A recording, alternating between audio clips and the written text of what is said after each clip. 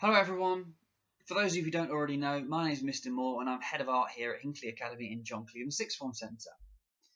Um, for those of you who've just seen my art uh, video, I do apologise, but some of what I'm going to say now is going to be repeated. The reason for repeating myself is because GCSE art and GCSE photography are almost identical courses. The way they're laid out, the way they're assessed um, is identical. So let me just um, explain some of that to you now. So in photography, over the two years, just like in art, you'll be expected to create a portfolio of work. This portfolio of work um, is um, built up over the two years and is worth 60% of your final grade. So a massive chunk of your final grade comes from all the sketchbook work that you do, developing ideas that respond to sort of like a theme within um, within your coursework.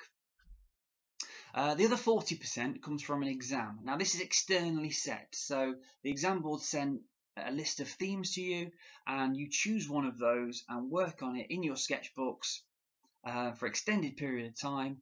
At the end of that, you get given a 10 hour exam. Now, that sounds quite scary, but it isn't at all. Um, in that 10 hour exam, over two days, you'll be sort of in a room as a photography student developing a final piece that sort of sits in or sort of works alongside uh, um, your sketchbook work that you've been doing for the exam the best way to um, really sort of sample or see what it's like to be a GCSE photography student is to uh, see examples of what previous students have done. So um, have a look on YouTube and you'll find loads of examples of GCSE photog photography students who have um, recorded like a journey through their project, uh, flicking through the different pages, and you can see the sort of work and the level of um, detail that, that's needed in, in those sorts of projects. So definitely, if you're considering this as an option, have a look at that. Talk about talk about it with your parents. If you've got any questions to ask, my email address is posted in this PowerPoint, so you can always um, send an email to me asking me any sorts of questions about the course, and I'll try and get back to you as soon as possible.